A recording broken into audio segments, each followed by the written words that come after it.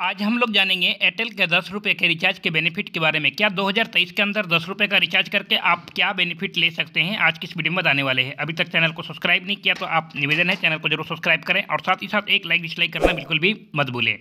हम आपको बता दें कि एयरटेल दस रुपये का जो है एक मिनिमम रिचार्ज होता है, सबसे छोटा पैक होता है दस रुपये का टॉपअप दस रुपये का टॉपअप रिचार्ज बिल्कुल ही चालू है, आप कर सकते हैं।